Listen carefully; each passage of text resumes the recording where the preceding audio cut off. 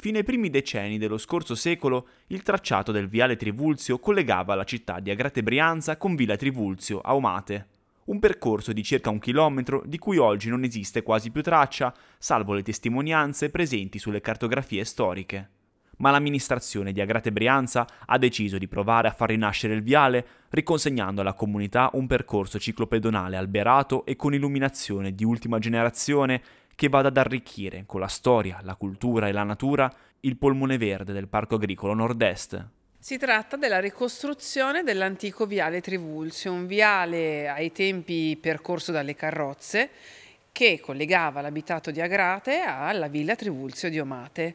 È un viale che nel corso del, del tempo è stato è sparito, è stato diciamo, sommerso, mangiato dalle coltivazioni dei campi che si estendono attorno alla frazione di Omate e che da tanti anni hanno cercato di ricostruire in che modo con eh, operazioni urbanistiche che portavano di volta in volta in dote pezzi di terreno, appezzamenti e proprietà per andare a ricostruire pezzettino per pezzettino proprio questo viale. Il progetto sarà finanziato per un milione di euro dal comune di Agrate Brianza e 280.000 euro da Brianza Acque per ricreare un affascinante cannocchiale nel verde e provare a ripercorrere anche la storia del viale. Un viale che quindi sarà comunque ciclopedonale